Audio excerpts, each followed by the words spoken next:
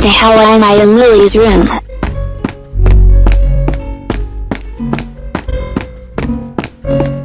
Okay, that's better.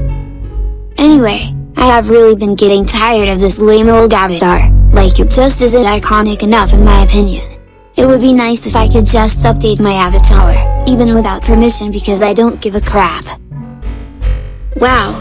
That gave me a great idea. I can just update my avatar without permission. It's not like I care. I'm going to do it in front of my dad too. Ha ha ha ha ha.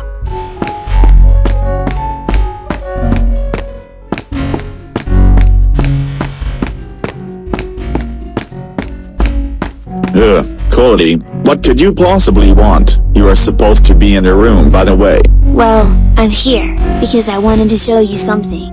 Here's the end, it has to do with myself. Well, I'm not guessing what it is because I don't care. Just freaking show me already before I ground you. Like I said, you're supposed to be in your room anyway.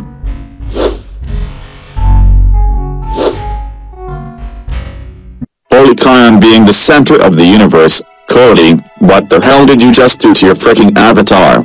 Um, um, um, um, um, um, um, um, um, I think I have just did something called, updating my avatar without permission. I am so sorry, please don't ground me for this.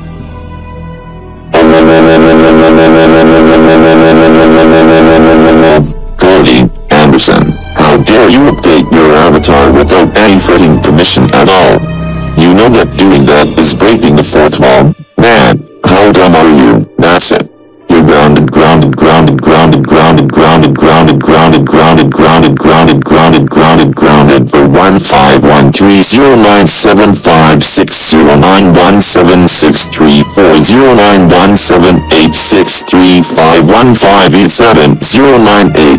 months. Before you go back to your room, change your avatar back to how it was, right, now. Now go. Nobody even likes you anyway. That includes T-Bone Animate. Sounds hard to believe, but yep. I hate you so much, Boris. Why?